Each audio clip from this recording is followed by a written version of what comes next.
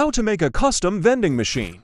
You will need a vending machine and an item of your choice. First place a vending machine wherever you want it to be. Next get the item of your choice. Then drop it near the vending machine.